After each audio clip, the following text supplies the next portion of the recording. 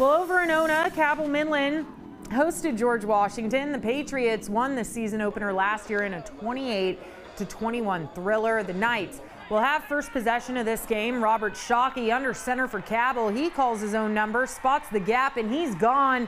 Throws up the deuces as he says, see ya, wide open all the way to the end zone to get Cabell Midland's first score of the season. Now, this was a high scoring game. Knights will have it again now. Shockey with the handoff to Curtis Jones Jr. Jones with the open lane to the end zone to make it 22 to 7. Cabell Midland still in that first half. Patriots ball now. Abe Fenwick steps back to pass a beautiful long ball, but it's picked off by Cabell Midland's Miles Metters.